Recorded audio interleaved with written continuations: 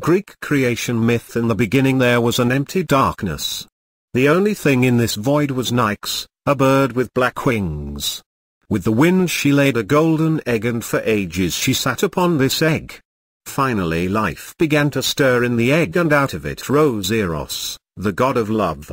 One half of the shell rose into the air and became the sky and the other became the earth. Eros named the sky Uranus and the earth he named Gaia. Then Eros made them fall in love. Uranus and Gaia had many children together and eventually they had grandchildren.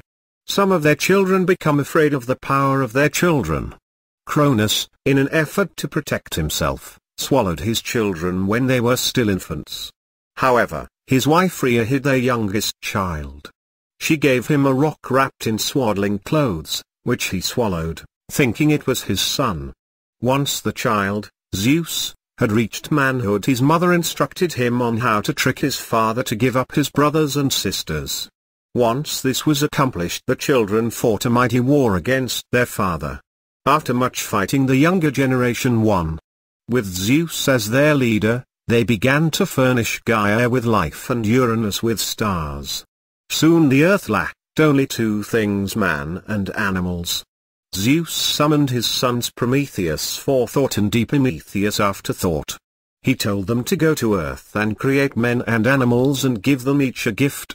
Prometheus set to work forming men in the image of the gods and Epimetheus worked on the animals. As Epimetheus worked he gave each animal he created one of the gifts. After Epimetheus had completed his work Prometheus finally finished making men. However when he went to see what gift to give man Prometheus shamefacedly informed him that he had foolishly used all the gifts.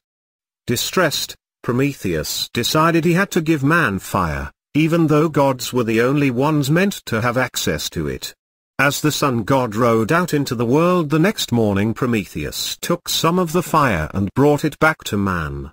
He taught his creation how to take care of it and then left them. When Zeus discovered Prometheus' steed he became furious.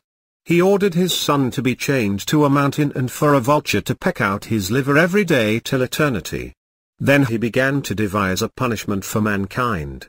Another of his sons created a woman of great beauty, Pandora. Each of the gods gave her a gift. Zeus' present was curiosity and a box which he ordered her never to open. Then he presented her to Epimetheus as a wife.